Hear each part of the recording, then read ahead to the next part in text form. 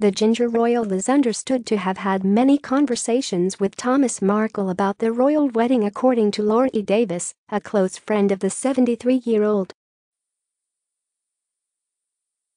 She said they've had many conversations. Friendly conversations. He's delighted for them. The young mother then emphasized that Harry and Thomas have not had a rocky past in an attempt to dispel rumors surrounding the pair. She commented, talk that Harry had upset Tom with comments about their family aren't true. He thinks Harry's a great guy, he couldn't have wished for a better son-in-law. It is understood that Thomas and Harry have not yet met face-to-face. Ms. Davis added that Thomas Markle misses his daughter terribly.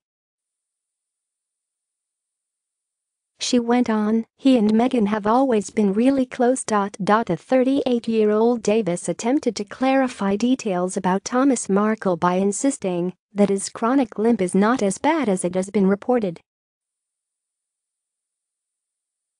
She explained, Tom is fine, it's nothing like people have said. He has a slight hobble, but nothing that would stop him attending.